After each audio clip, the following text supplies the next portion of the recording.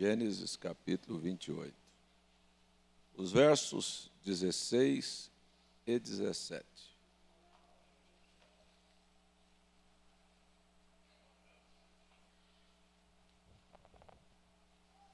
Louvado seja Deus.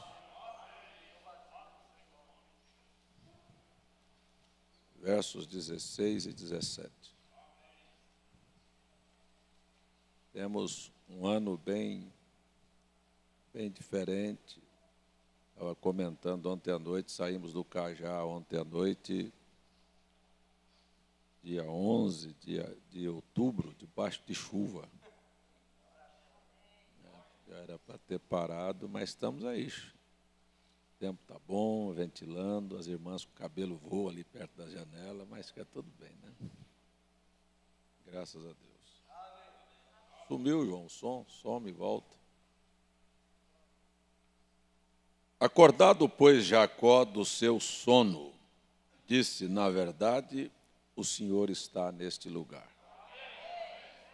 E eu não o sabia. E temeu e disse: Quão terrível é este lugar! Este não é outro senão a casa de Deus, e esta é a porta dos céus. Mais uma vez, outra vez te pedimos, nos abençoe. Reconhecemos que precisamos do Senhor não é apenas porque ouvimos o Senhor dizer que sem ti nada podemos fazer. É porque entendemos na nossa vida, no nosso dia a dia, e a nossa vida sem o Senhor é um fracasso.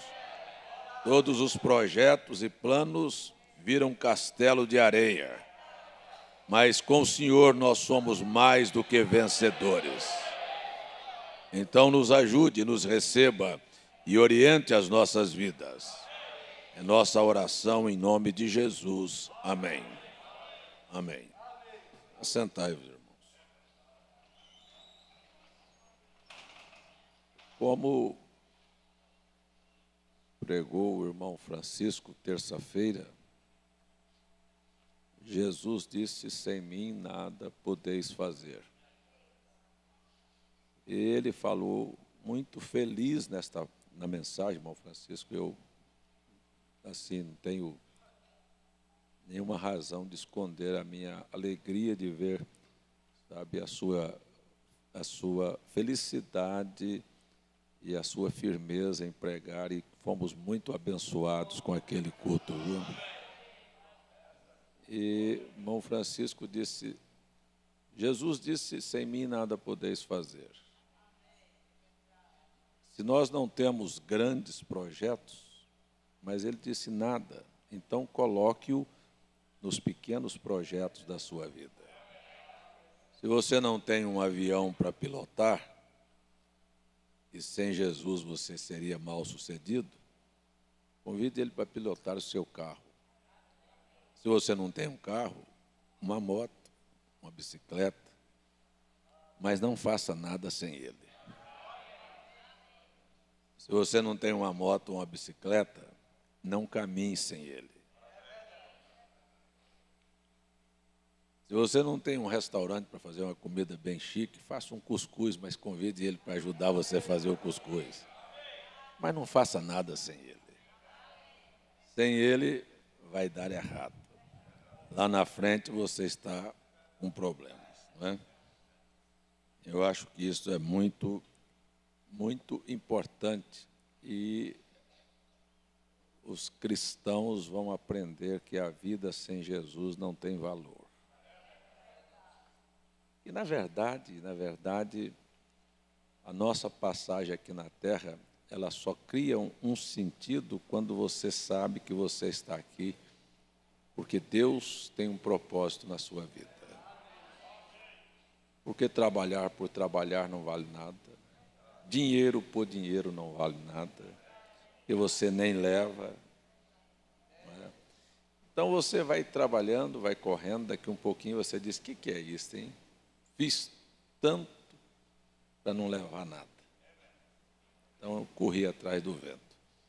Quando você entende que você vem aqui que Deus precisa do seu testemunho, da sua fé para ajudar alguém, que a sua vida é útil aqui para a sua mulher, para o seu marido, para os seus filhos, para o seu semelhante e, sobretudo, para Deus.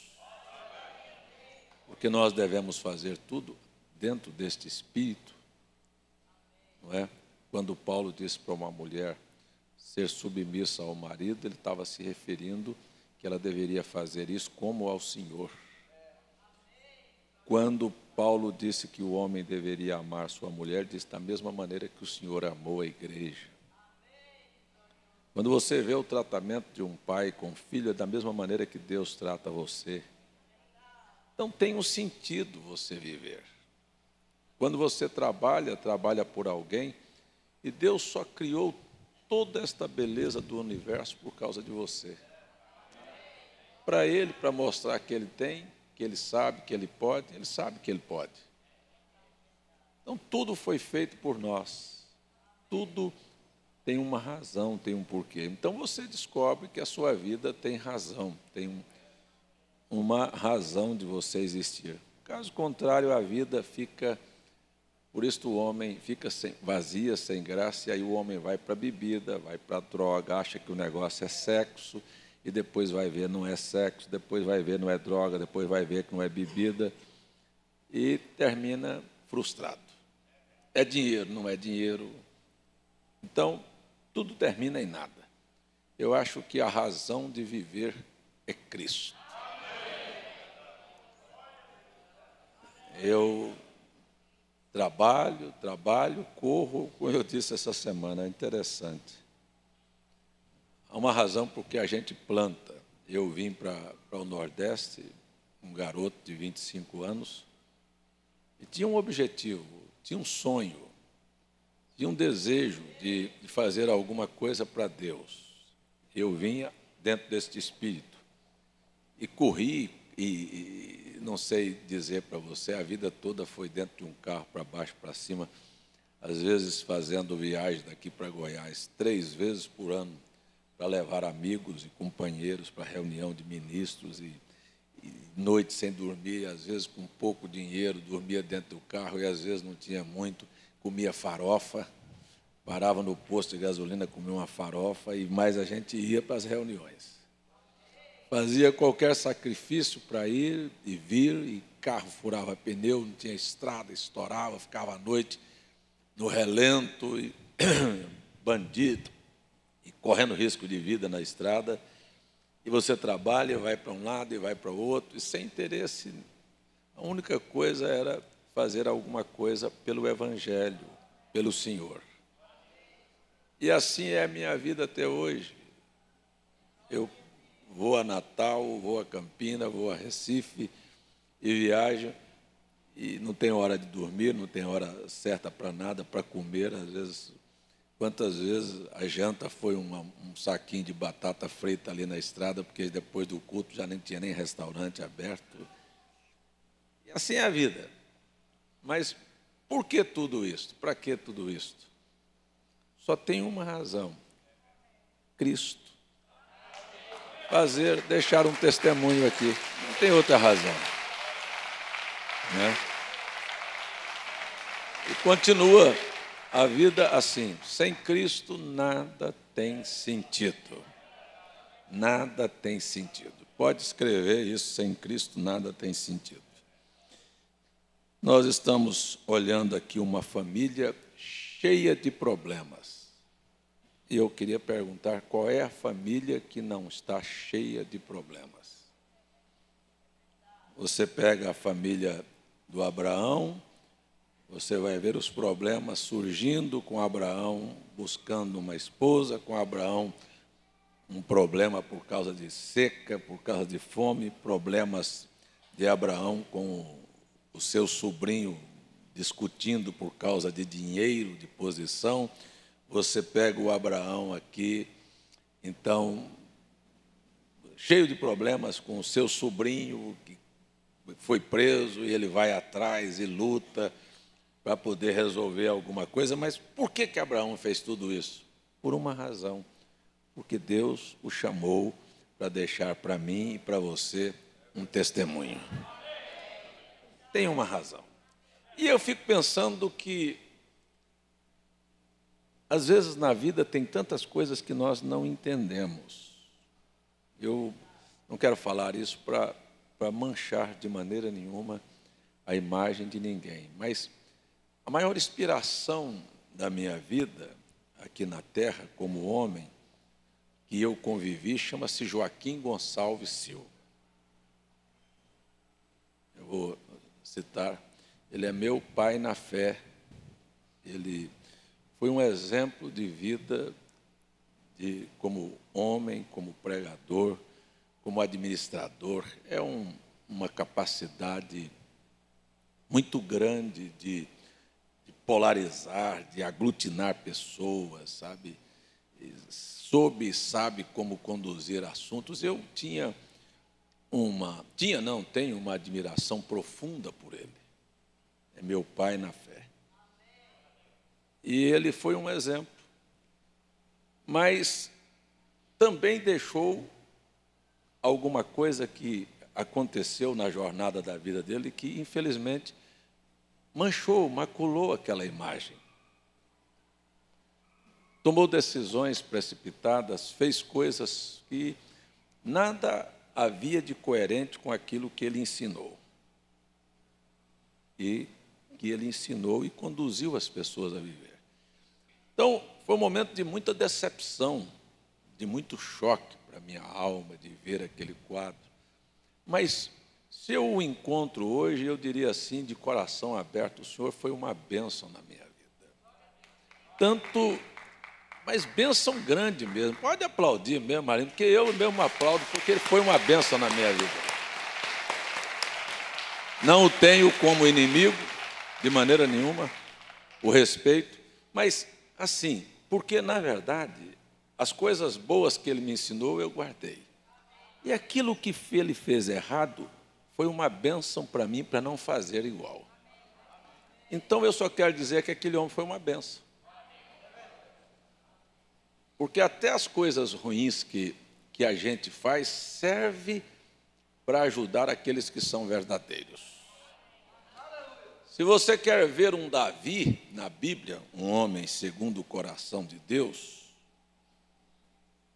você vai vê-lo assim. Você só olha o Davi se você olhar o Saul. Um homem, um perseguidor, um iracundo, um desobediente. Então, o Saul foi usado para fazer um Davi diferente do que era Saul. De saber perdoar, saber correr. E até as fraquezas de Davi, então, depois mais tarde serve para ajudar a gente. Não entra por esse caminho. Então essa é a vida de Abraão, esta é minha vida. E o irmão Brana disse a mesma coisa. Eu espero que os meus erros sirvam de lições para você. Não faça, não entre. Se você for verdadeiro, você dirá isto aos seus filhos, às pessoas que convivem com você. Olha, eu errei aqui, eu falhei aqui, esse não é a maneira. Porque a vida vai amadurecendo a gente para a gente chegar até esta conclusão. Há muita coisa que a gente faz que não é digna de elogio. Eu Falo aqui de manhã hoje com vocês com o coração aberto de irmão para irmão. Minha maior alegria foi ter vivido o Evangelho esses 58 anos. Se eu tivesse que voltar a ser adolescente hoje, eu faria melhor do que eu fiz. Eu não me arrependo de ter casado virgem, eu não arrependo de, nunca ter fumado, nunca de ter bebido. Eu não me arrependo de ter jogado a minha vida no Evangelho. Nunca, de maneira nenhuma. Para mim, foi a coisa mais gloriosa que eu fiz. Portanto, se tivesse que fazer, faria e faria melhor. Sabia até evitar os erros que eu já cometi. Então a gente tem que olhar e ver as coisas assim na vida. Amém? Não precisei, não preciso, não acho que é bonito, não acho que é decente. Não precisa de um homem ter mais de uma mulher. Se eu tive duas é porque fiquei viúvo, porque não me interessa. Nunca me interessei por outra. E, e só assim, eu acho que a vida é desse jeito. A gente precisa de saber. Então, eu acho que o meu testemunho, a minha vida para os meus filhos, e quem sabe amanhã para os meus netos, eles vão olhar e dizer: o vovô foi um homem assim. Ou meus filhos dirão: meu pai foi assim, e meu pai errou aqui, eu não vou errar, não.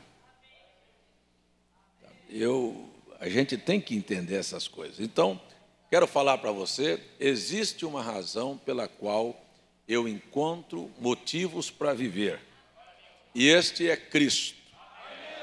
E o meu alvo em Cristo é chegar a ser perfeito. Não me conformo com a qualidade de vida que eu tenho. Todo dia eu dou uma beliscada em mim e diz: você precisa de melhorar. Você não está bom ainda não. Quando você erra, você sabe que você errou. Amém? Glória a Deus. Assim é a vida. Aí você encontra razão para viver. Mas essa família aqui, nos nossos últimos cultos, nós falamos sobre casamento, o casamento de Esaú, depois o casamento, a recomendação, a preocupação de Rebeca em não deixar o, o, o filho casar com, os, com as filhas de Canaã.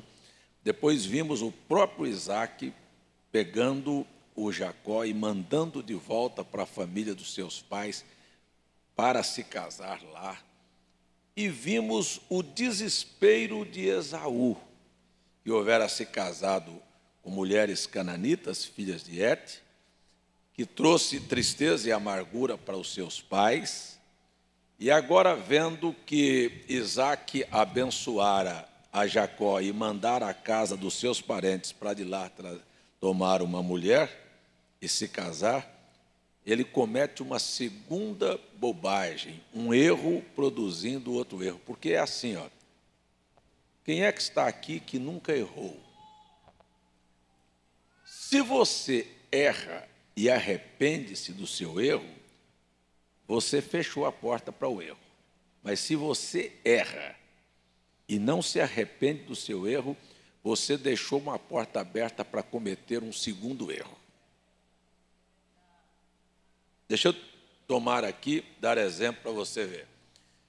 Se nós olharmos a vida de Davi, nós vamos encontrar o Davi assim, cometendo um erro. Era tempo de guerra, ele ficou em casa. Esse foi o primeiro erro. A comissão dele era estar na frente da batalha. Primeiro erro.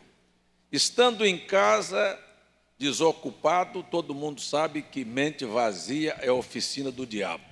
Quando gente não tem o que fazer, começa a inventar moda. Estando em casa, saiu à tarde no seu terraço, viu uma mulher tomando banho, nua. A desejou. Olha o segundo erro. Um erro vai chamando o outro. Ele poderia virar as costas e dizer: aquela mulher ali tem um mau caráter. Ela não serve para ser minha mulher, porque eu não vou querer uma mulher que outros vão ver ela tomando banho. Então ele devia ter virado as costas, mas ele a cobiçou. Terceiro erro, aquele espírito de cobiça ficou sobre si e ele mandou perguntar de quem ele era. Descobriu-se que ela era uma mulher casada. Eu vou falar usando a linguagem do irmão Brana, um homem que mexe com uma mulher casada devia ser castrado. Então, mais um erro. Pronto descobriu que ela é uma casada. Quem é o marido dela? Um soldado fiel. Então, aí vem, sabia quem ele era. Mas a força do seu poder e da sua posição inquiriu que trouxesse aquela mulher para si. E aí ele se deita com ela, já vai o quarto erro. A mulher manda dizer para ele que está grávida. Aí ele vai fazer um quinto erro, que é um ato de hipocrisia: chamar o marido da mulher para ele se deitar com ela, para enganar o marido, dizendo que o filho era dele. Lá vai o sexto e o sétimo erro, que aí o homem rejeita aquilo e ele mais uma vez insiste em enganar o seu próximo e embebeda o seu, o seu soldado, embriaga o seu soldado, e ele ainda não vai. Depois de embriagar, ele faz uma outra ato de covardia.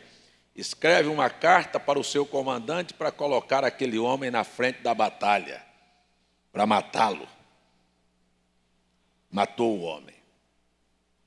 Então você pega quantos erros por causa de um primeiro. Então, um erro sempre produzirá outro erro. Sabe? Um abismo chama outro abismo. Então, quando você tem um erro na sua vida, deixa eu dizer, não o oficialize, reconheça que aquilo não está de acordo com a palavra. Olha, nós estamos estudando um assunto aqui na vida de Abraão sobre eleição. Aí eu recebi um e-mail e a pessoa me pergunta assim: Mas, gente, isso é uma coisa tão simples. Escuta, como é que eu sei se eu sou eleito ou não? Olha que pergunta. Pastor, me diga qual é a característica de um eleito, como é que eu sei se eu sou eleito ou não? Como é que a gente sabe se é eleito ou não? Pediu até que eu respondesse na escola bíblica. Como é que eu sei se eu sou eleito ou não? É simples. Nós estamos falando sobre casamento. Vê se o teu espírito está casado com Cristo. Quer ver o que é eleição? É assim, ó. Vê Casamento não é junção de corpos. Casamento são mentes parecidas, sentimentos iguais, ideais iguais. Vê se na sua vida você sente e vive como Cristo, assim. Ó. Seu sentimento é de ódio, é de vingança. Seu sentimento é de maledicência, é de difamação. Seu sentimento é é orgulhoso, é para você você pensa, sabe, mais em você? Pensa você, para você entender o que é estar casado com Cristo, é assim: você deseja adulterar, mentir, roubar, sabe? Você carrega dentro de você, escondido um pensamento, um desejo que é desigual, que é desacordo, que está em desacordo com a Bíblia. Você sabe que você não está casado. Porque você vai ver que a Bíblia diz assim, ó, grande é este mistério, digo, porém, do homem e da mulher. Né? O homem deixa seu pai e sua mãe, se une à sua mulher e se torna uma só carne. Então Paulo usa essa linguagem. Aí você vai e diz assim: grande é este mistério, digo, porém, de Cristo e da igreja. Como é? A igreja e Cristo se tornam um. Então, você e a palavra são um. O que diz a palavra tem que estar dentro de você. Eu não estou falando, eu não disse que tem que estar nesta carne sua. Essa carne sua não vale nada. Se alguém pisa no seu calcanhar, você quer explodir, mas isso é lá dentro. É isto lá dentro ou é isto lá de fora? Do lado de fora é carrapicho. Nunca deixou de ser carrapicho. Mas do lado de dentro precisa ter uma natureza de trigo. Então o carrapicho quer grudar, quer brigar, quer discutir, mas lá dentro tem uma outra natureza diz: não, aqui não, aqui não, você não vai agir assim não. Então precisa de ver lá dentro. Eu não posso dizer para você se você é eleito ou não, você é que sabe. Você é que conhece o teu espírito. Lá dentro, o teu homem interior.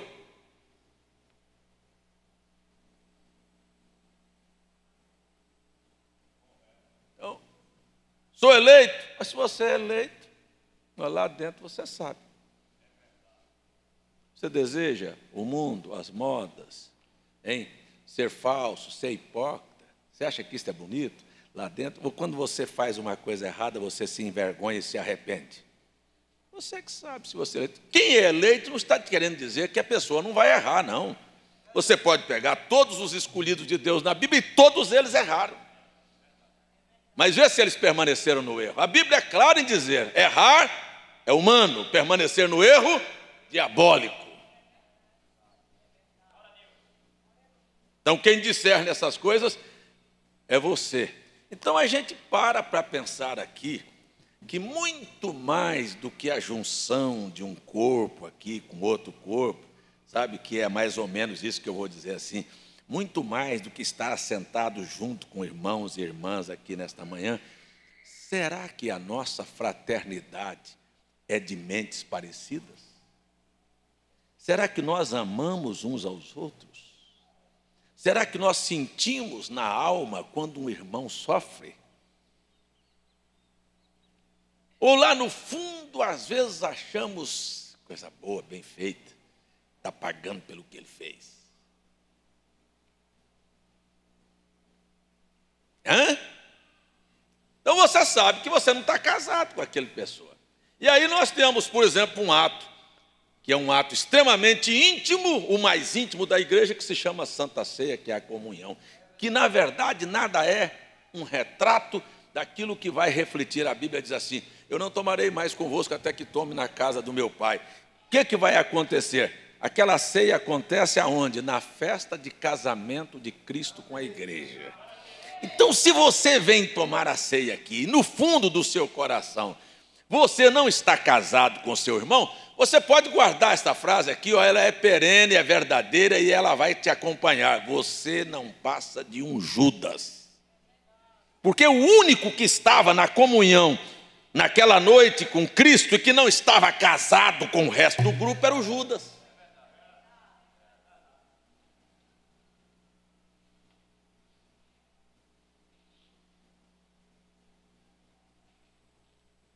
É isso que a gente tem que olhar. Eu estou em desarmonia, mas por que, que eu estou em desarmonia?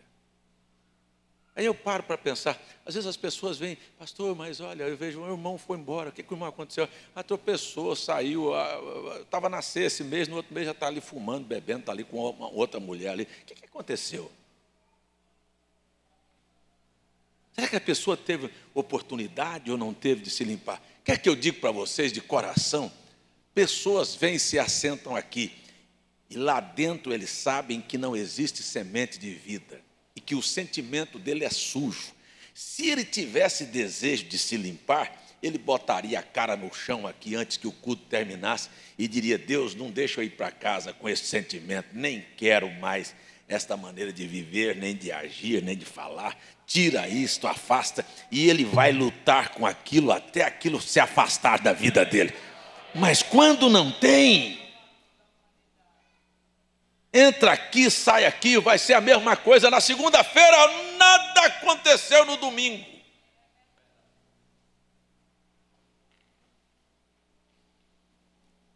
Então a gente para para analisar o que é casamento. Aí nós estamos olhando aqui um casamento que não é a questão de estarmos assentados juntos aqui um ao lado do outro, mas será que nós estamos casados no espírito? Será que puxamos todos para o mesmo lado? Será que desejamos que todos sejam bem-sucedidos? Será que somos felizes em ver o seu próximo feliz? Ou será que nós sentimos bem em ver a desgraça atingir os outros? E vou mais. Será que nós nos descansamos pensando que alguém se perde e nós nos salvamos? Para começar, eu não sou digno de ser salvo, e você também não é. Como é que nós podemos assentar numa cadeira e dizer eu sou eleito, sou predestinado, sabe? Eu sou bom. E ali fora tem um monte de gente que está ali numa situação difícil. Será que você é melhor do que ele? Será que somos melhores do que ladrões, do que prostitutas, do que pessoas que estão em qualquer sistema denominacional errado? Não existe nada de melhor. Existe um Deus bom, existe um Deus maravilhoso.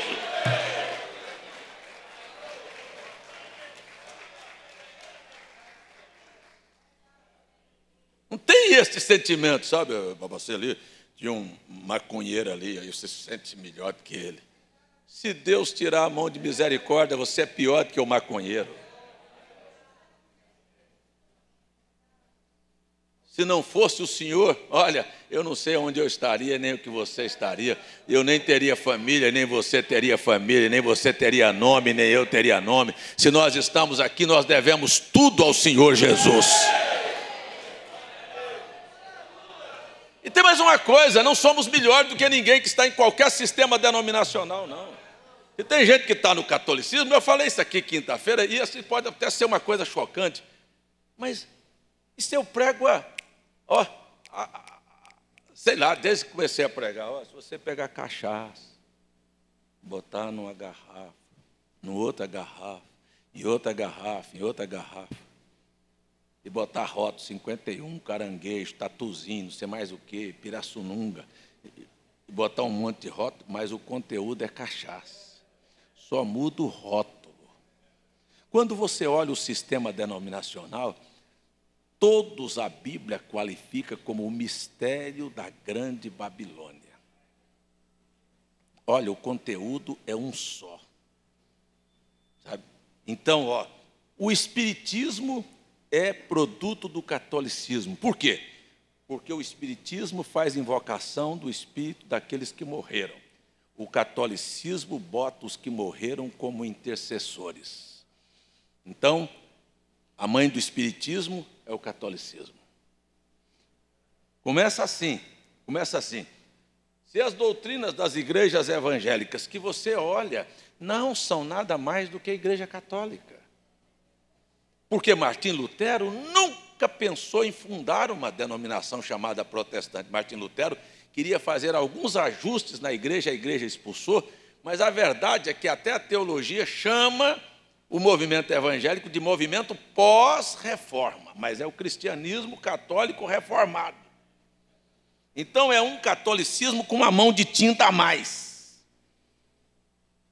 É só um disfarce, é uma mão de tinta a mais. Então, quando você olha, todos estão todos dentro do mesmo patamar. Aí você estufa o peito e diz: Mas eu sou o eleito. Sabe onde estávamos? Lá.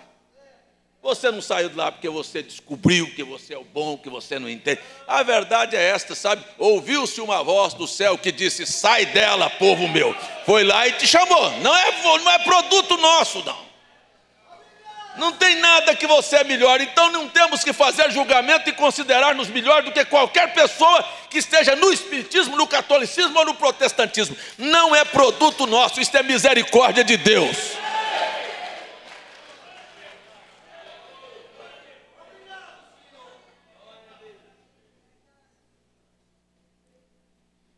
Como é que podemos xingar um homem de sem vergonha, de adúltero, quando se Deus tirar a mão de nós, nós fazemos a mesma coisa? Hã? É, é verdade. Mas vamos aqui. Eu falei isso aqui domingo. Nós precisamos é disso, sabe? É de entender que tudo na nossa vida nós devemos ao Senhor Jesus. Tem alguém que tem coragem de dizer: Eu devo tudo a Cristo?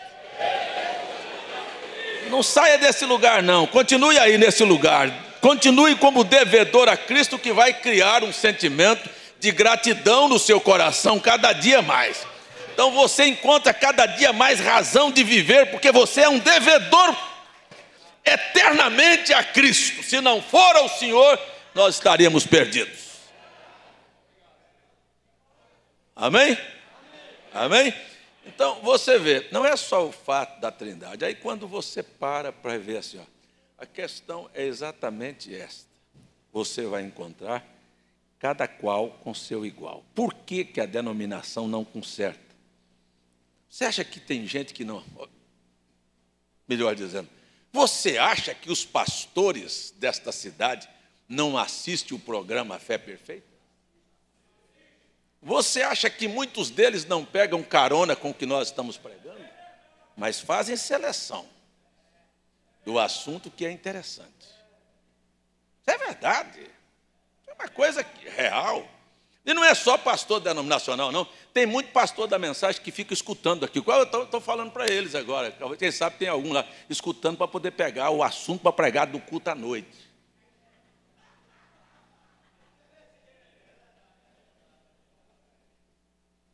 E a internet tem essa beleza hoje. Viu? Vou ver o que o César está pregando hoje. Aí eu solto uma frase, e está aqui a mensagem da noite. Pronto, acabou. E está certo, não tem nada errado, não. Eu não sou dono da mensagem, não. Se Deus colocou uma frase do coração dele para pregar, louvado seja Deus. Pensando que eu sou o, o, o, o bom, não, mas é verdade. Porque essa é uma coisa normal, eu me inspiro no irmão Francisco, quando ele prega, às vezes a igreja está longe, mas eu estou pregando lá na frente numa frase que ele falou. e anoto, depois vou pregar sobre aquilo. É assim. É nacional. Então, você quer ver uma coisa? É assim. Mas, voltando aqui, então, a gente para e fica analisando essas coisas desta maneira assim. Quando nós estamos olhando sobre eleição, que nós olhamos que nós não somos nada, que na verdade toda decisão em nos escolher foi de Deus. Sabe? É assim, isso é uma coisa que você vai ver, ó, pode pegar uma dúzia de ovos e colocar debaixo de uma galinha para chocar. Se você pega um ovo de uma galinha que não andou com o galo, vai chocar. Vai ficar guro. Verdade? Mas vai ficar debaixo da galinha, mas não vai nascer. Não tem vida dentro dele. Então, quem não estava na mente de Deus, não adianta querer estar. Pode estar dentro da igreja, mas nunca vai manifestar vida eterna. Está me entendendo? Então, na verdade, é esta, sabe? Quem foi que escolheu? Foi Ele. Quem é que colocou este ponto de vida dentro de você? Foi Ele. Aquele ponto de vida, ao fazer contato com a vida que é Deus, não tem como negar está aqui, ela vai revelar o propósito divino aqui na terra. Então não é homem, é Deus. Estão me entendendo? Então vem aqui. Este é um grupo de pessoas que, quando você os olha na Bíblia, eles não fizeram nada. A Bíblia disse: antes que Jacó e Esaú fizessem coisa alguma, amei Jacó e aborreci Esaú. Quando você olha, por que Deus aborreceu Esaú? Só por uma razão. Não, porque Esaú vendeu a primogenitura. Olha, a única coisa que fez Deus virar as costas para o Esaú foi a classe de espírito que Esaú possuía. Você olha o coração de Esaú e olha o coração de Caim. Eles são idênticos. Idênticos. Você olha o coração de Caim e colhe o coração de Satanás. Eles são idênticos. Então o irmão Brana para e diz assim: pássaros da mesma plumagem andam juntos, ou seja, cada qual com seu igual. Não tem aonde você correr. Não tem para onde você ir. Então você entende, sabe, quando eu disse quem é o eleito? É aquele que está casado com Cristo. Mas isso não é de você. Por que, que todo mundo, todas as pessoas do mundo não têm um sentimento puro com os outros? Por que, que todos não desejam ser santos? Por que, que todos não desejam ser bons? Por que, que todos não desejam ser fiéis? Por que, que todos não desejam ser honestos? Por que, que todos não repudiam o adultério? Por que, que todos não deixam a hipocrisia? Por quê? Por que, que alguns não querem isso na vida deles e outros querem. Você vai ver e cada qual vai andar com o seu igual. E a grande parte da sociedade casou com isso. Mas nós estamos aqui, o que todos nós queremos é ser iguais a Cristo. É verdade? É isso que está no seu coração? Se é isso que está no seu coração, diz assim: que isto seja na minha vida. Amém. É, amém, amém quer dizer que assim seja. É o que eu desejo. Mas se há um outro sentimento, por que, que a Bíblia diz que haja em vós o mesmo sentimento que houve também em Cristo Jesus? Mesmo sentimento. Mesmo sentimento. Então, este é o eleito. Agora, essa semana mesmo, o pastor Antônio, aqui de Sapé, ele veio visitar minha casa.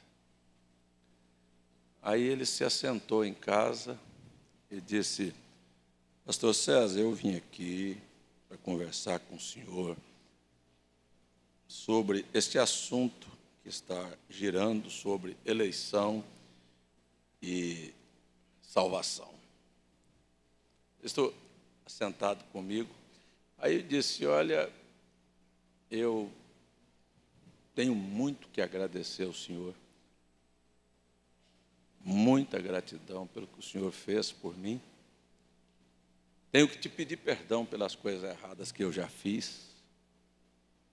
Reconheço que o Senhor é meu Pai na fé, mas eu quero saber, entender sobre este assunto que está sendo falado sobre eleição. Eu disse, o senhor estava na reunião de pastores. E eu preguei três horas sobre este assunto para os ministros. E depois deixei um culto inteiro à noite para que os ministros se pronunciassem sobre o assunto. E abri um espaço e disse: Olha, o culto da noite, está aí o pastor Messias, você procura-o, se inscreve para poder falar no culto da noite. Nós podemos passar a noite aqui ouvindo os pregadores sobre este assunto. Nós tivemos apenas dois pastores que se inscreveram para falar.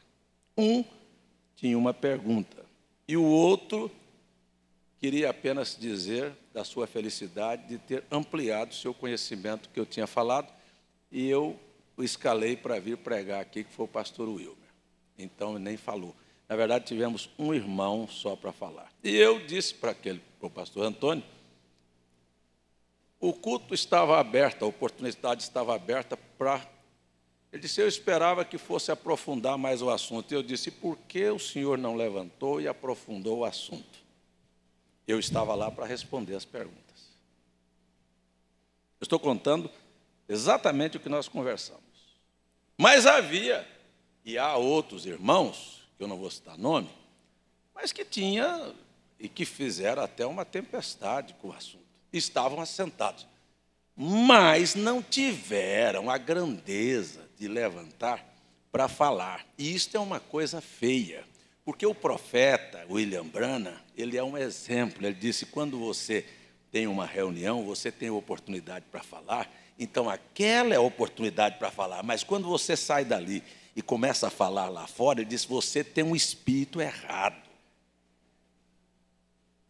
As coisas são assim, desta maneira. Então, eu até pedi para os obreiros que estavam na reunião, que mesmo que estivesse extremamente gloriosa e boa a palestra, que não comentasse um com os outros, mas que viessem à noite e fizessem o seu comentário. Seu desaprova, a sua desaprovação ou sua aprovação. Foi assim que nós terminamos a reunião. Muito bem. Como o pastor Antônio disse, não, eu não me aprofundei, não me levantei, porque não me cabe, não me cabia aprofundar o assunto, até porque eu congreguei com o senhor oito anos e faz mais onze que eu estou em Sapé, e eu disse, e o senhor ouviu eu pregar isto há 20 anos atrás? Ele disse, ouvi. Então tem 20 anos que o senhor sabe que eu não mudei uma vírgula daquilo que eu prego. E não é 20, são 30. Sempre preguei a mesma coisa sobre o assunto, por quê? Porque este livro aqui, chamado As Sete Eras da Igreja, é o abecedário da fé que nós temos. Se a pessoa não conhece nem o ABC, como é que vai discutir álgebra? Ponto 1. Um. Foi assim. Então, eu disse, o assunto é este. Aí ele me fez uma pergunta. Disse, eu gostaria de fazer uma pergunta para o senhor. O senhor está ensinando que depois da morte nós vamos fazer intercessão por alguém? Eu disse, bom, eu não sou Santa Maria.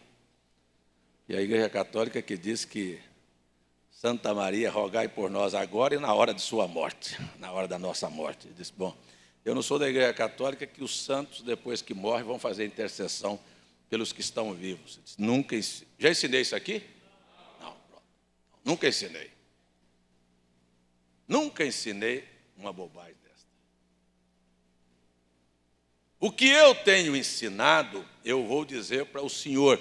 E eu estou falando isso aqui nesta manhã porque eu prometi para ele de falar. Falei quinta-feira, tinha menos irmãos, estou falando hoje novamente. Eu disse para ele: vou falar para o povo, porque não é bom que o senhor fale porque está havendo mal entendido. Eu vou dizer para o povo exatamente repetir para que saia na internet, quem estiver em casa, ao redor da nação, confira as coisas que eu estou pregando, se não vou dizer a mesma coisa. Estou dizendo que o eleito é aquela classe de pessoas que Paulo disse que a obra a respeito deles é uma obra já consumada. E não foi consumada na terra, ela foi consumada antes da fundação do mundo. Porque você vai para Romanos 9 e diz: Aos que dantes conheceu, a estes predestinou, aos que predestinou, a estes chamou, aos que chamou, a estes justificou, e aos que justificou, a estes glorificou. Então, dentro da visão de Deus, a obra está feita, porque o nome deles está colocado no livro da vida do Cordeiro desde antes da fundação do mundo. Então, não há o que fazer mais a respeito deles. Eles, no tempo próprio, reconhecem que são eleitos ou não, e aí você olha para dentro de você e sabe se teu espírito está alinhado com esta Bíblia. Não adianta tentar discutir com Deus, esse não é o espírito do eleito, esse é um espírito do diabo. Se você para para discutir com a Bíblia, eu já sei que espírito você tem.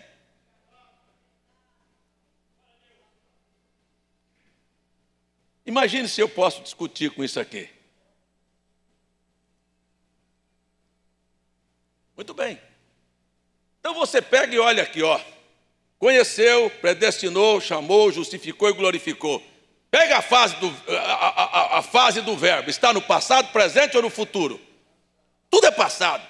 Predestinou, conheceu, chamou, justificou, tudo é uma obra passada. Acabou, não tem o que fazer. Este é o eleito. Agora você vai ver que nem todos são eleitos e nem todos se perdem. Aí já tem um outro plano. Eleito é chamado, deixa eu explicar isso bem claro aqui, ó. Eleito é chamado a esposa do cordeiro. Por favor, quantas irmãs estão aqui? Eh, levante as, as mãos aqui, todas as mulheres que estão nesse auditório, por favor. Só me dá um sinal com a sua mão. Olha aí, ó, tantas mulheres estão aqui, mas só tem uma que vai para casa comigo. Esta é minha mulher. Só tem uma que dorme comigo, é minha mulher. Só tem uma que é íntima a mim, é minha mulher.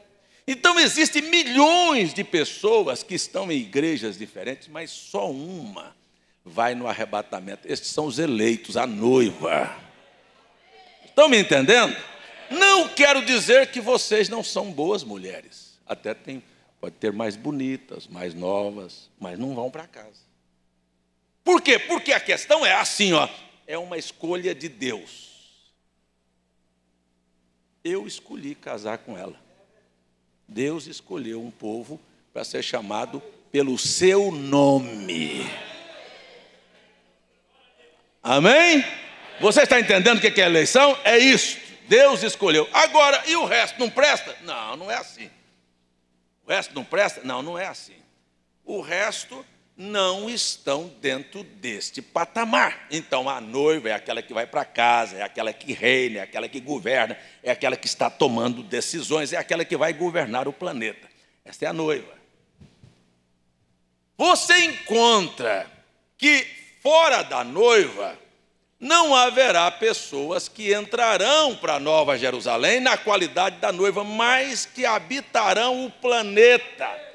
Isto é, depois que passar o milênio e vier o trono branco do julgamento.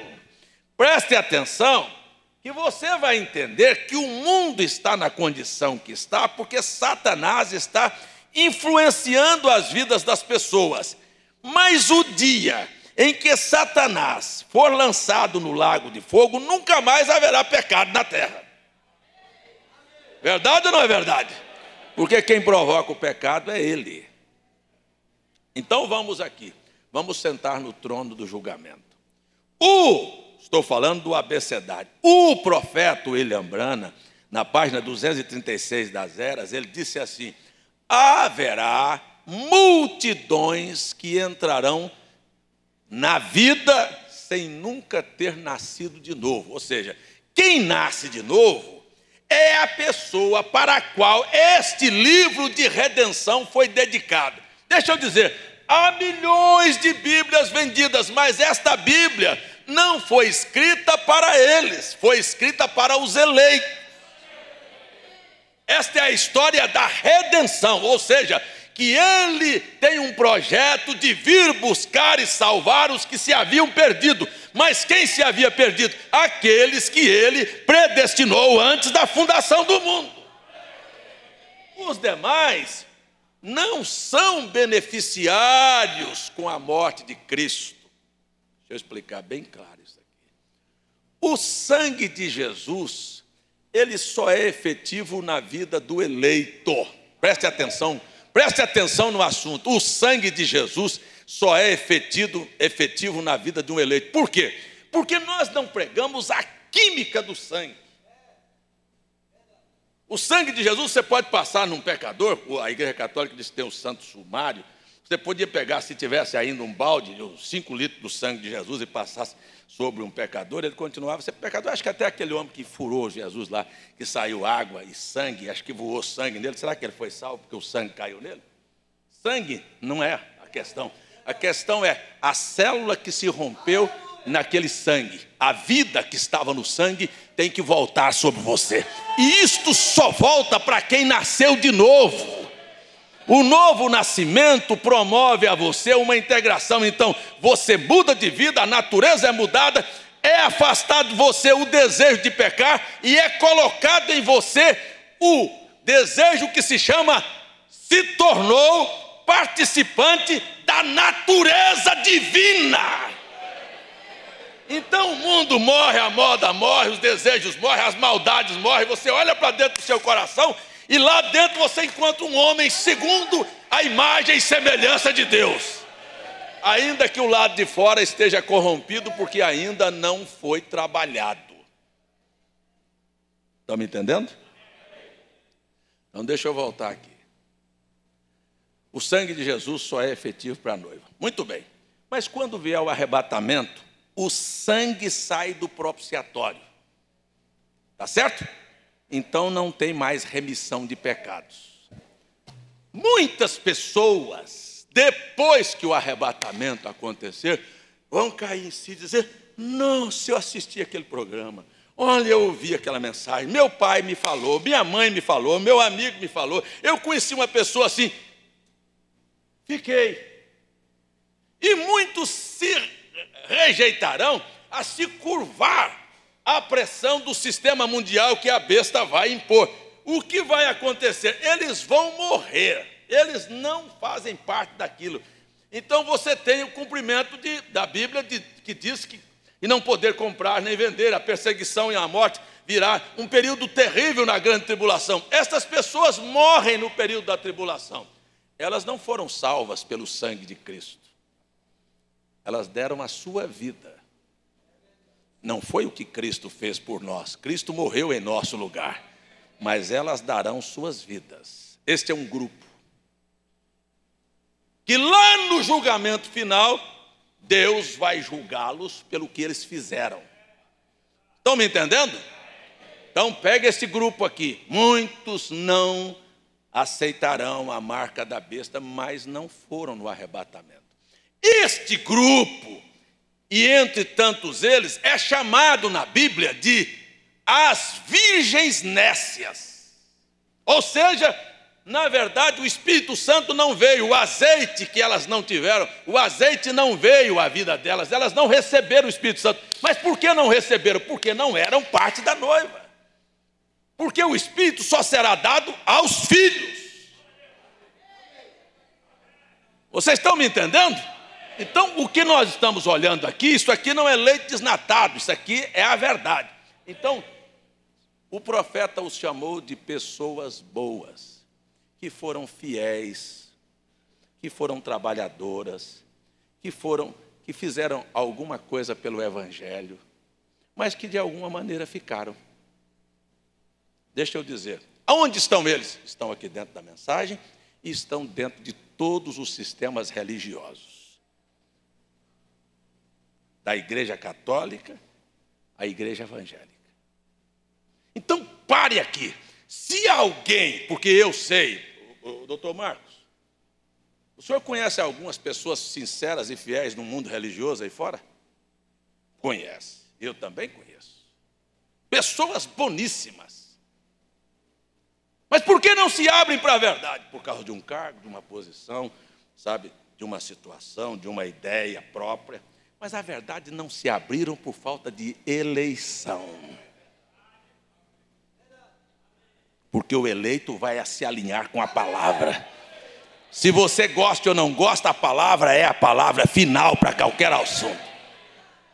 Mas eu não quero dizer que não são salvos. Porque qualquer estudante da Bíblia vai ver que o quadro da Bíblia, no Gênesis, é assim. Se você não, não conhecer o Gênesis, você vai se perder completamente. O quadro da Bíblia é assim. Quem é que veio primeiro, o Enoque ou o Noé?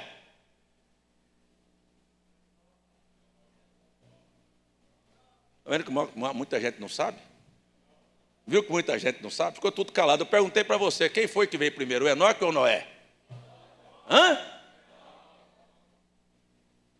O Enoque foi arrebatado, depois veio o pai de Noé, para depois vir o Noé.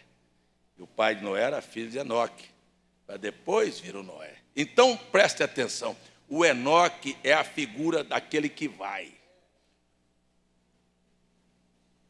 O Noé é a figura dos que se salvam através do saculejo da arca. 40 dias de chuva, mais 110 dias para as águas baixarem, de agonia trancado lá dentro, sabe? São salvos pela tribulação. Está me entendendo? A figura da Bíblia é aqui, ó. É aqui. A Bíblia tem que ser olhada como ela é. Não foi colocada nestas ordens apenas para fazer, fazer quadros, não. É que antes da tribulação haverá o arrebatamento. Estão me entendendo? Então este é o Enoque e este é o Noé. Então aqui está, aqui está o eleito que se vai no arrebatamento, mas depois do arrebatamento vem a tribulação e muitos se salvam escapando através da tribulação. Então entre eles você tem a Virgem Nécia, que são pessoas boas, que contribuíram com a obra, que se esforçaram, que viveram o que eles podiam crer, praticaram aquilo que podiam crer, mas por faltar eleição não faziam parte da noiva. E eu não quero dizer que são ruins, porque não são todas as mulheres boas e bonitas que vão para casa comigo. Você elegeu uma para ser sua esposa e Cristo elegeu uma para tomar o seu nome e acabou. Se ele quisesse ter posto todo mundo, o problema era dele, ele poria todo mundo, mas quando ele escolheu um povo especial para si, ele escolheu um povo especial. E eu não sou melhor do que ninguém, estou aqui dizendo obrigado, Senhor, por ter me escolhido. Esta é minha fé e minha convicção. Está me entendendo? Então você tem aqui um primeiro grupo chamado Virgens Nécias. Pessoas, uns morrem, outros são bons, mas de alguma maneira ficaram para trás por não terem sido seladas com o Espírito Santo. E aí eu paro. Espírito Santo não é pular, Espírito Santo não é falar em língua. Espírito Santo não é botar a Bíblia debaixo do subaco para ser desodorante. Espírito Santo não é carregar a mensagem também aqui e dizer eu conheço todos os parágrafos. Nada disto vale.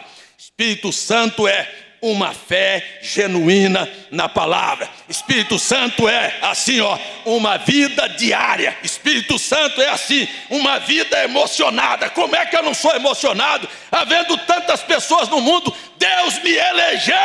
Ora. Espírito Santo é assim: você olha para fora e o seu coração geme de saber que há pessoas que estão nas trevas que vão sofrer. Você não é feliz com a miséria de ninguém, porque a Bíblia diz que o desejo de Deus é que todos se salvassem. E eu não estou desejando ver ninguém no inferno, estou desejando que as pessoas encontrem graça para chegarem no final e se salvarem.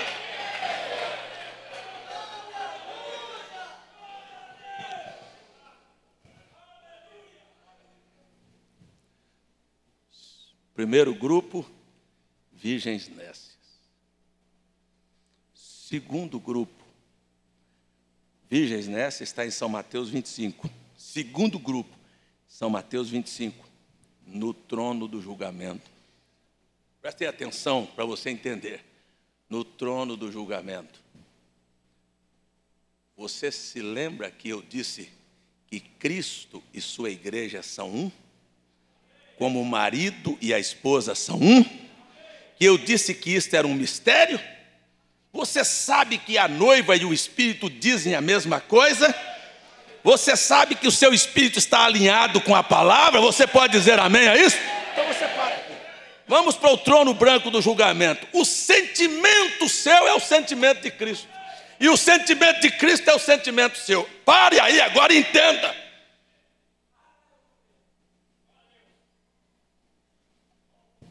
É onde muita gente entendeu mal. Você diante do trono do julgamento, aí eu disse isso muitas vezes, aparece seu pai. Eu falei para o pastor Antônio, aparece seu sogro. Falei para ele desse jeito, aparece, vamos tomar seu sogro. Estou falando com o pastor Antônio agora. Aparece seu sogro. Nunca creu no Evangelho. Não é que você vai chegar, ou a irmã Maria vai chegar lá para ele e dizer assim: Jesus, meu pai está ali. Nós não vamos fazer um carnaval lá. Porque senão vai virar uma feira de farinha lá e dizer: Ei, esse é meu lá, quebra o galho dele, é meu primo, aquele ali, é meu sobrinho, aquele ali, é minha irmã, aquele ali. Não existe nada disso. Não, não tem nada disso. Não tem essa, essa feira de farinha lá, não. O sentimento do seu coração é o sentimento do coração de Cristo. Seu espírito está alinhado com Ele. Agora olha se você tem desejo de mandar alguém para o inferno aí. Presta atenção no que, que é a, a coisa. Então, isso aqui é salvação para apenas povoar a terra. Seu sentimento é o dele. Hoje, o seu sentimento é um sentimento humano que é chamado de amor filho. E o amor filho é um amor apenas carnal. Mas Deus tem um amor ágape. E o amor ágape é a multiplicação por milhões e milhões de vezes do sentimento que você tem. É um amor puríssimo. É o amor que você não explica porque Deus te amou e porque Deus te salvou e porque Deus gosta de você e porque Deus, um ser tão santo, anda com você e quer habitar dentro de você. Me explica isso. Você acha que você é digno disso? Porque você vem à igreja, porque você dá dízimo, porque você veste cumprido? Isso não vale nada. A mesma coisa é assim lá. Aqui na terra, se alguém faz um favor para um filho meu, eu quero retribuir. Se trata bem, oh, mas eu sou feliz. Aquela pessoa tratou bem meu filho. Você sabe que Cristo e você são a mesma pessoa. Aí chega no julgamento e ele vê lá o seu parente disse: venha para cá. Não, ele não pode, não. Por quê? Porque para mim, um copo d'água não salva ninguém. Uma roupa não salva ninguém. Um prato de comida não dá direito uma pessoa a ser salva. Mas Deus pega isto e multiplica milhões e milhões e milhões de vezes e quer retribuir, fazer um copo d'água ser tão valorizado que diz: eu estava com sede e você me deu de beber. E agora eu quero te retribuir. E a pessoa regala os olhos e diz: Mas eu? Diz: É. Quando foi que eu te vi com sede? Veja só, a noiva e Cristo são a mesma pessoa. Ele disse: Quando você fez a este. Quando você fez a ele, você estava fazendo a mim, porque a noiva e Cristo é o mesmo. Você está entendendo? Tanto é o mesmo que está aqui, ó, a noiva e Cristo são o mesmo, marido e mulher são o mesmo. Preste atenção assim, ó. Esta é a verdade, esta é a razão, porque estamos no tribunal com Ele, porque Ele e nós somos o mesmo. Eis a razão porque a Bíblia diz que nós vamos julgar o mundo, mas julgar o mundo quando assentarmos com Cristo no tribunal, disse Paulo, então você vê que não é você, o mesmo sentimento que estava em Cristo está em você. E as pessoas que conviveram com você aqui, que serão julgadas por você, serão julgadas de acordo com o sentimento de Cristo que está no seu coração. Será que vocês estão entendendo? Não é que você vai dizer, Jesus, meu pai, Jesus, minha mãe, Jesus, olha ali, Jesus, meu primo. Não, não tem isso, não. Você nem dirá coisa alguma. Então, nós não estamos pregando que vamos fazer intercessão lá. Não, nós fazemos aqui. Aqui oramos pelo pai, pela mãe, pelos irmãos, pelos parentes. Escutem bem, por favor, escutem bem. Você ora com fé e entrega aquilo na mão de Deus. E nunca duvide, mas meu pai continua, meu filho, eu não tenho nada com isso. A maneira que Deus vai fazer para poder salvar, se você pede a salvação de alguém em vida, Abraão pediu a salvação de Ló em vida. Deus sabia a maneira que ele iria usar para salvar Ló do fogo que destruiu Sodoma. E Deus sabe qual método ele usará para salvar os seus que você intercedeu por eles. O assunto é este. Ninguém está falando em intercessão depois que morreu, não. O irmão Brano disse, respondendo uma pergunta: Como é que eu posso usar e entender a Escritura? Crê no Senhor Jesus, será salvo tu e tua casa. O irmão Brando disse: Da maneira que você creu para a sua salvação, creia para a salvação dos seus parentes. Ou seja, ore, entregue. Agora eu pergunto: Deus pode falhar com a sua palavra? Hã? Ele disse: se você pedir crendo, você pode passar céu e terra, pode passar essa vida, quando chegar na hora final, sua oração vem ao coração de Deus, Ele não pode quebrar a sua palavra, Ele verá a sua fé e o seu pedido e olhará aquilo que aquela pessoa fez. Agora, isto, preste atenção, isto é diferente daqueles que voluntariamente pisam o sangue de Jesus. Para estes, a Bíblia diz que não há mais esperança voluntariamente. Ah, quer saber? Ó, quero nem saber de evangelho, nem de Deus, nem de nada. Vou viver a vida que eu quero. Você acha que vai ter esperança para ele lá? Pode ser meu filho, pode ser quem for. Eu não posso, Deus não pode quebrar a sua palavra. Mas você sabe que há tantas pessoas que foram boas para você, mas por falta de eleição não estarão onde você está. Não estarão. Então, é um fato diferente. Prestem atenção. O irmão Brana vem e disse: São Mateus 25, aqueles que foram bons para a noiva. Aí eu, como pregador, deixa eu falar bem claro, ó, deixa eu tirar a minha, a meu casaco aqui para ficar bem íntimo com vocês, porque não tem ninguém de paletó, só eu.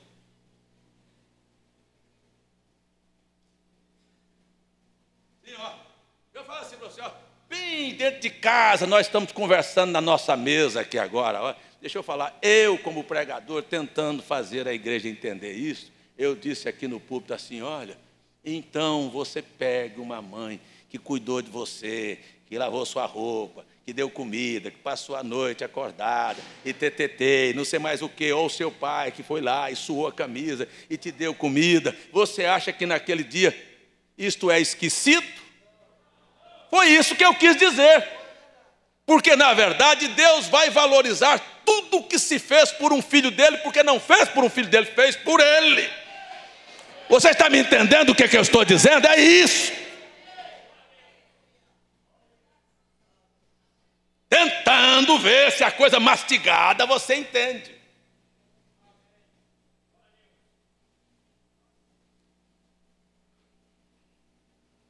Então você tem aqui um segundo grupo, aqueles que são bons para os filhos de Deus.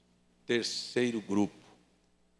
Como Deus mandaria para o inferno pessoas que nasceram, cresceram e nunca ouviram a respeito do Evangelho? Tribos indígenas, povos nas regiões remotas da terra, que nasceram lá, não sei de onde, nas brenha do calcanhar aonde o Judas correu e escondeu a bota, que o evangelho nunca chegou. Estão perdidos? Lá na África, lá nos buracos de tatu, não sei aonde. O profeta disse: Deus terá uma maneira para julgar a cada uma daquelas pessoas. Então você tem aqui, ó, primeiro, virgens nécias, segundo, os que foram bons para a noiva, terceiro, grupo, os que nunca ouviram o evangelho. Ainda terão oportunidade no julgamento de se salvarem.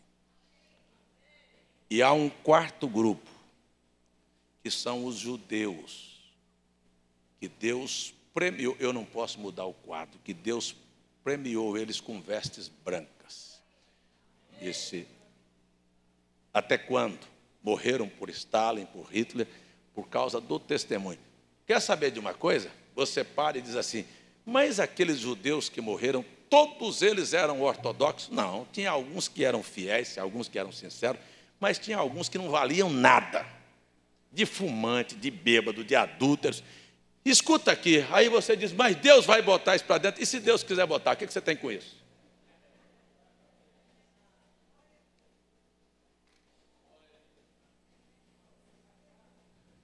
Deus deve satisfação a você? Não, Deus, não põe esse não aí, porque eu, eu... Deus é soberano. Deus faz o que quer fazer. Por exemplo, quer ver? No meu conceito de homem, eu não poria Martim Lutero para dentro de jeito nenhum. Eu? Eu pego a vida de Lutero, vou olhar disse um assassino. Olha a vida de Lutero, sabe, incitando os outros a matar. Na verdade, quando você olha a história, vai ver, Lutero foi quem incitou a Hitler a matar os judeus. Ambos são alemães. E ele chegou a dizer que os judeus eram anticristo, Lutero. Que os judeus eram os anticristos, porque tinham matado o Messias. Que os judeus deveriam ter sido arrancados, quando iam arrancar os dentes, os ouro dos dentes dos judeus. Sabe? E quando Hitler foi matá-los, como é o nome daquele filme que o senhor falou, irmão? Julgamento de Nuremberg, como é que é o nome? Está lá, um banqueiro que guardou a arcada dentária e os ouros que foram tirados dos dentes dos judeus que iam para as fornalhas. Sabe quem fez aquilo? A teologia de Hitler, de, de Lutero. Aí você diz, Lutero tinha condição de entrar, incitou a morte não só de 30 mil camponeses, mas incitou a morte de 6 milhões de judeus. Teria condição Lutero de entrar? Quer ver um outro conceito que acaba com a nossa ideia? Eu poria alguém lá como eleito, sendo um homem fumador de cachimbo? Lutero era um fumador de cachimbo, está lá. Agora Deus colocou, diga para Deus, senhor está errado. Eu vou fumar cachimbo, o senhor vai deixar eu entrar de todo jeito que o senhor deixou Lutero. Ele é soberano e diz: Eu abri a porta para aquele, fechei para você, eu faço o que quer, porque a Bíblia diz assim: Ele tem poder de pegar o barro e fazer o que ele quer, e quem foi criado não tem poder de dizer assim: Ah. Se você entrar, não é porque você é bonzinho e não fumou, não, é porque ele foi bom com você. Acabou. Agora eu vou arranjar desculpas eu vou arranjar desculpa. Diz, não, mas aquilo é porque ele viveu na, na era dele, a luz da era dele. É, tá, tá, tá bom, né? Ah, viveu a, a, a, era dele, a luz da era dele. Aí eu arranjo desculpa para a era passada também. Diz assim: não, o, o, o Wesley também viveu a era dele, pregou a doutrina armeniana. E, e, também tinha um monte de ensinamentos errados, como batismo e, e, e, não sei mais o que. É, ele entra também como um trinitariano. Por quê? Se Deus deixou o Wesley entrar como trinitariano, isso é problema dele. Eu tenho nada a ver com isso. Eu quero saber se eu fui chamado, que hora eu vivi. Eu estou vivendo a hora da restauração, de voltar a ser a, o grão original não me interessa de palha, não me interessa de caniço, não me interessa o que viveram na era passada. Eu quero dizer para você que chegou a hora da colheita. Não se colhe palha, não se colhe caniço. O grão volta a ser semente, a igreja volta a Pentecostes. Deus volta a ajudar o seu povo.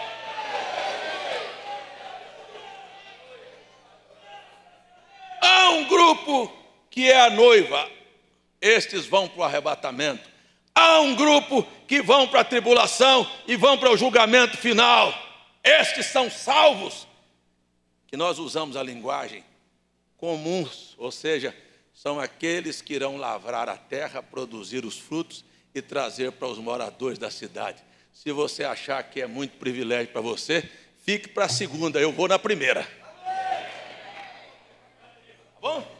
Se você quer sofrer na tribulação, fique para lá. E tem mais uma coisa: é privilégio, é privilégio, é privilégio, porque você não vai ver que quem ficou na segunda, em nenhum momento ele vai interceder da segunda pela da terceira.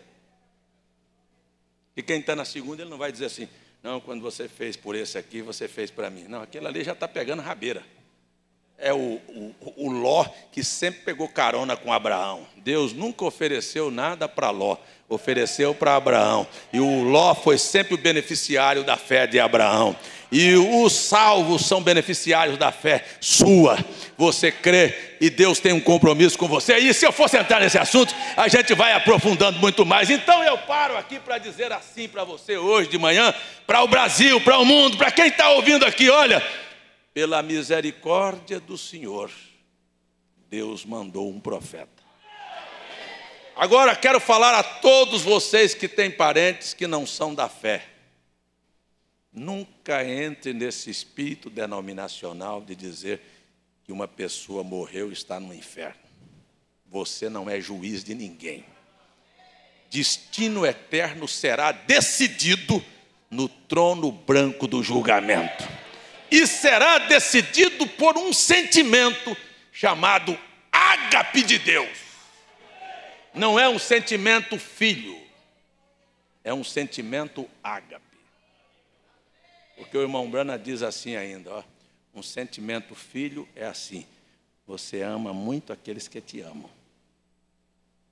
Mas um sentimento filho você é capaz de matar quem te aborrece. Mas o ágape, ele não é capaz de matar nem quem aborrece. sentimento que vai haver lá é Deus. E aí o irmão Brana vem, se você quiser, eu vou ler para você entender. Ó, ó só, só essa frase aqui, vou terminar o culto. Porque eu podia, eu peguei isso aqui para ler todos os parágrafos, mas não há nem necessidade disso. Disse, ó, nós realmente mostraremos pela Escritura que multidões que nem mesmo nasceram de novo entrarão na vida eterna.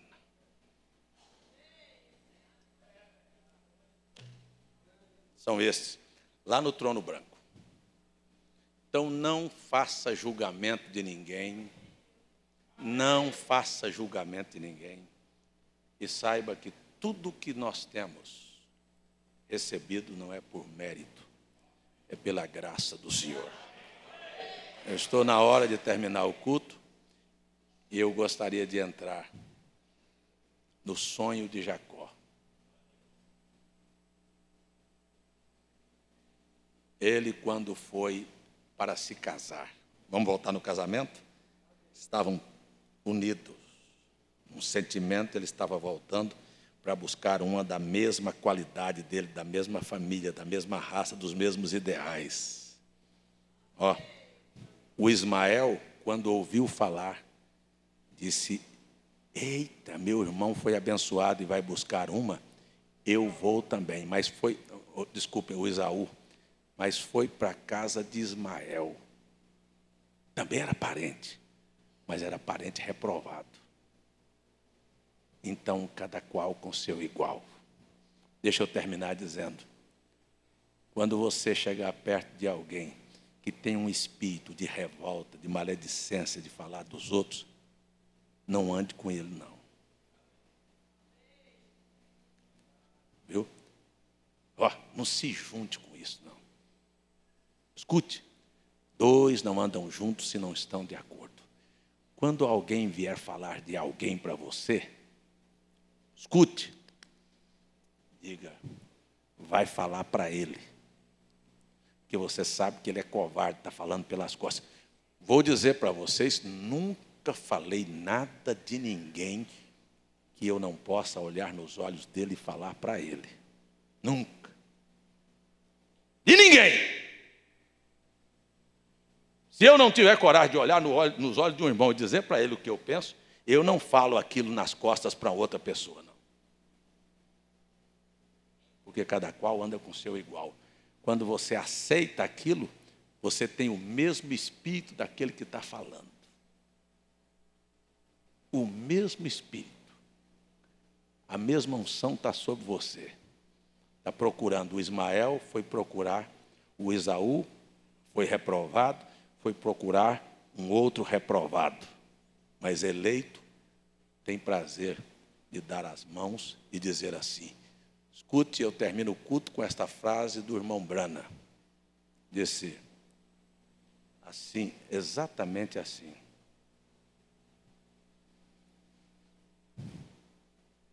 Benditos são os laços que unem os nossos corações em amor cristão. Nossa fraternidade de mentes parecidas. E quando nos separamos, sentimos dor na nossa alma. Eu vou para casa e você vai para a sua. Seus problemas dói em mim. As dificuldades dói mas suas alegrias fazem vibrar o meu coração também. Estou feliz de ter uma vida, sei de muitas lutas e de muitas dificuldades, de muitos irmãos. Mas quando você entra naquela porta lá, você está dizendo: Eu ainda estou na batalha. E eu olho daqui e digo a todos que estão aqui: O Senhor te abençoe na sua jornada. Saiba que você tem alguém que a cada manhã está de joelhos, dizendo: abençoe a vida do meu irmão. Esse é meu sentimento, por você e por seus familiares. E espero, espero me reunir com os meus além do rio numa outra terra, e espero que você se reúna com a sua família, e faremos uma grande família, e habitaremos a terra, e seremos felizes para sempre, e o diabo será destruído, e a paz e a alegria reinará de céu a céu, de lugar a lugar, e Deus será tudo em todos. Este é o esperança, e é por isso que eu prego o Evangelho. Vamos ficar em pé. Amém? Amém? É assim, alinhe a sua visão com a Bíblia. E você vai ver que a Bíblia é exatamente isto. Aleluia. Amém? Glória a Deus. Irmã Maria Firmino e família agradece por mais um ano da vida da Lídia. Cadê a Lídia? Está aí? A Lídia está ficando uma moçona já. Cadê ela? Hein? Hã? Cadê a irmã Maria? Está por aí não? Lídia, cadê a Lídia, gente? Está lá cuidando do irmãozinho mais novo. Deus te abençoe, viu, Lídia? Deus te abençoe, está lá atrás. Irmão Romualdo agradece pelas bênçãos, irmã Maria Helena pede oração, irmã Júlia pede oração pelo seu lar, irmã Rosângela agradece por mais um ano de vida e concedeu ao Christopher. Cadê o Christopher? É em Christopher, cadê ele? Cadê? Ah, está lá atrás. Ó, Christopher, ó. Deixa eu ver sua cara. Chega para cá um pouquinho assim aí. Deixa eu ver, ó. Tá bom, ó, ó, ó, ó. Deixa eu olhar isso aqui, ó. Ei, você tem uma mãe que dá a vida para fazer o melhor para você, viu? Seja obediente, seja um bom filho e Deus vai te abençoar na sua vida. Irmã Diva pede oração por alguns problemas que está passando. Ô, irmã Diva, irmã Diva lá do Paraná. Ainda bem que a senhora está passando, porque se a senhora tivesse ficado no atoleiro, estava ruim. Mas problemas vêm e a gente vai passando, vai passando, daqui um pouquinho a gente passa por eles. Deus te abençoe, irmã Diva. Irmã Joana Dark pede por sua família lá em Olinda. Irmã Vera lá em Pirapora. Irmã Ana Neri. Ana Meri agradece por mais um ano de vida do pastor José Couto. pastor José Couto esteve aqui conosco no encontro lá de Betim. Minas Gerais. Nós temos irmãos em Portugal, na França e na Inglaterra assistindo este culto. E nós temos irmãos no Distrito Federal, em Goiás, no Maranhão, no Mato Grosso, Minas, Paraíba, Pernambuco, Rio Grande do Norte, Rio Grande do Sul, Santa Catarina, São Paulo e Paraná, que estão aqui participando conosco nesses cultos. Eu queria só que você fechasse os seus olhos. E antes de orar, se você sentir, senão não faça. Se você sentir, não por você, mas que o teu coração está casado com todos neste mesmo sentimento, sem sem distinguir ninguém. Você levantaria a sua mão e diria assim para Deus: abençoe os meus irmãos, Senhor. Preste atenção, preste atenção para você não ser hipócrita. Da sua boca, se você diz abençoa meu, os meus irmãos e depois você fala deles, está saindo água doce e água amarga da mesma fonte. Tem alguma coisa errada aí. Mas tem alguém que quer levantar suas mãos e abençoar aos seus irmãos? Pedir com a sua alma, abençoe os meus irmãos. Aí entra filho, marido, parentes, irmãos, amigos. Abençoe os meus irmãos aqui nesta manhã, ao redor da terra, Senhor. Abençoe os meus irmãos.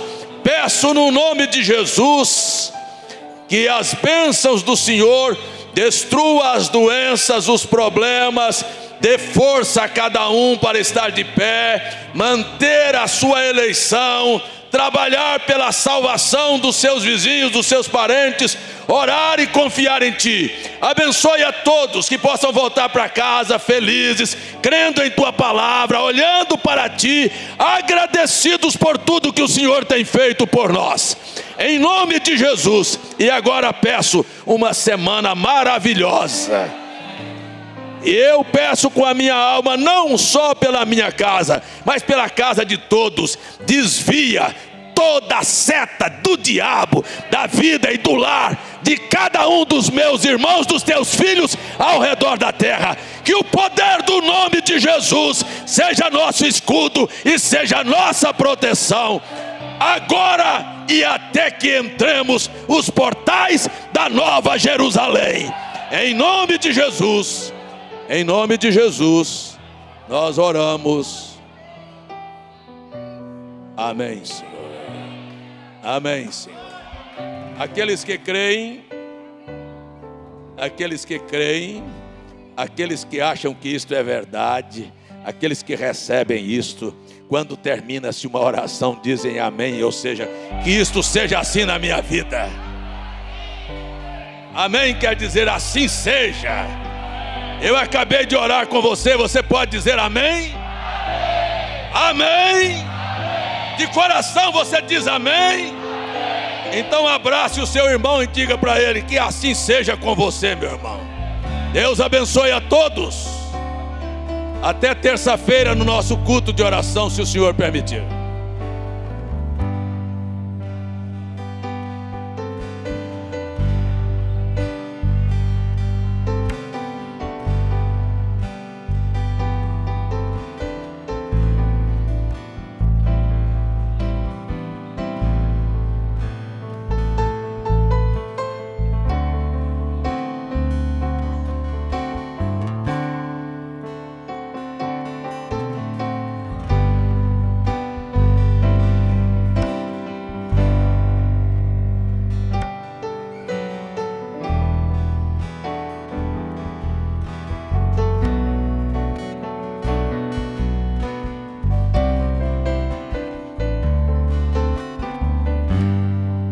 Louvado seja Deus. Às seis horas estaremos juntos aqui reunidos. Já lembrando que no próximo sábado estaremos culto lá em Caporã, no mesmo horário. Vamos preparando, né? O de Lucena foi uma bênção e cremos que o de Caporã será melhor. Aleluia. Que, que nota é essa? Alto. Aleluia. Deu um fá. Por toda a minha vida. Ó Senhor, te louvarei,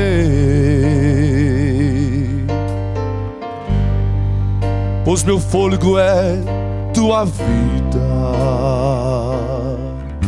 Aleluia. E nunca me cansarei. Aleluia. Posso ouvir a tua voz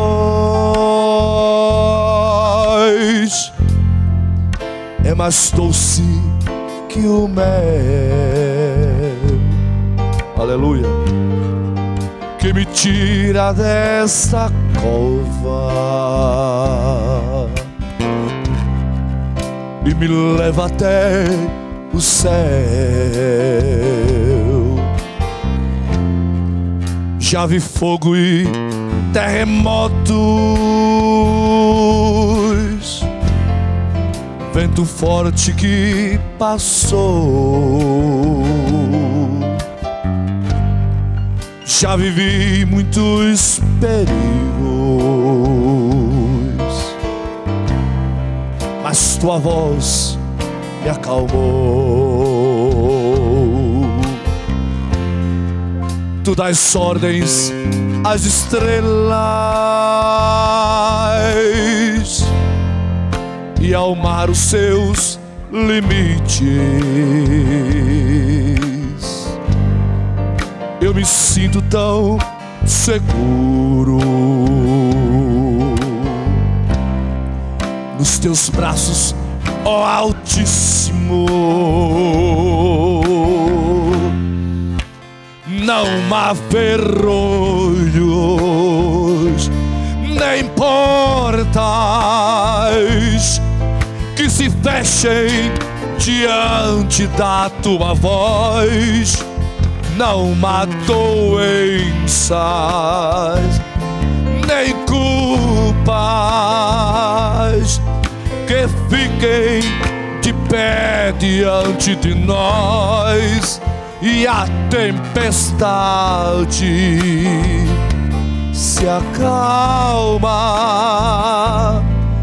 na voz daquele que tudo criou, pois Sua palavra é pura,